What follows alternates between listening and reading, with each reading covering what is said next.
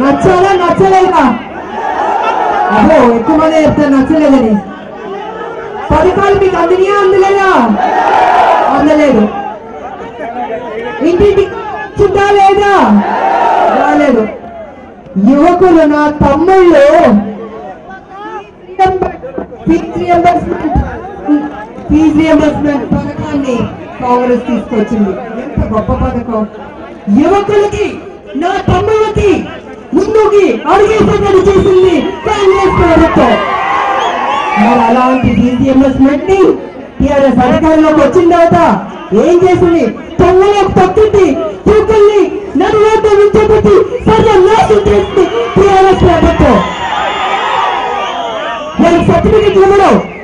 Certificate వస్తే పై చదువుకి వెళ్ళొచ్చు ఉద్యోగాలకు వెళ్ళొచ్చు అటు కాబట్టి ఇటు కాకుండా రోడ్డు మీద ఉంచబెట్టది ఈ టిఆర్ఎస్ ప్రభుత్వం. ఉద్యోగాలు రావట్లేదు. యువకులు అల్లాడిపోతున్నారు. వాగ్దానాలు చేశారు టిఆర్ఎస్ ప్రభుత్వం. కానీ ఏ ఒక్క వాగ్దానం నిలబెట్టుకోలేదు. అదేవిధంగా ప్రభుత్వ పాఠశాలలు టీఆర్ఎస్ వచ్చిన తర్వాత మూసివేయబడింది.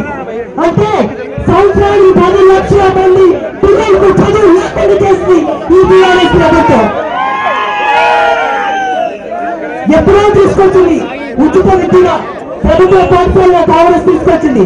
మరి అలాంటిది పిల్లలకు చదువు లేకుండా చేసింది విద్యార్థులకు ఫీజు రియంబర్స్మెంట్ లేదు చిన్నపిల్లలకు ప్రభుత్వ పాఠశాల లేదు ఉచిత విద్య లేదు. అసలు ఏం చేయదలుచుకున్నారు? అన్న కేసీఆర్ గారు.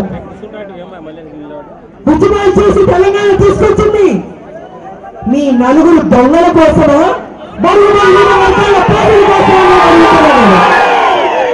ఆలోచించండి. మైనార్టీ సోదరులు కూడా ఆలోచించండి. టిఆర్ఎస్ బీజేపీ ఒకటైంది కొమ్మక్కైంది.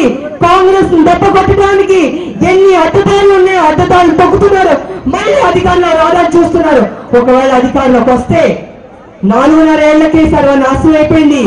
మరొకసారి వస్తే పూర్తిగా నాశనం అయిపోయి మిగులు బడ్జెట్ నుంచి అప్పుల బడ్జెట్ వెళ్ళిపోయింది. ఇంకా చెప్ప చేతికి ఇస్తారు వాళ్ళు మనకి. అతి భయంకరంగా అవుతుంది కాబట్టి తెలంగాణ మేలుకోండి. హుషారుగా ఉండండి. టీఆర్ఎస్ని గట్టి తిప్పండి. కాంగ్రెస్ని గెలిపించి టీఆర్ఎస్ కోరుకుంటూ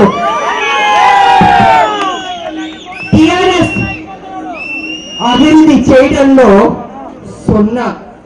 ప్రజాధనాన్ని దోచుకోవడంలో నిన్న. కాబట్టి ఆలోచించుకుని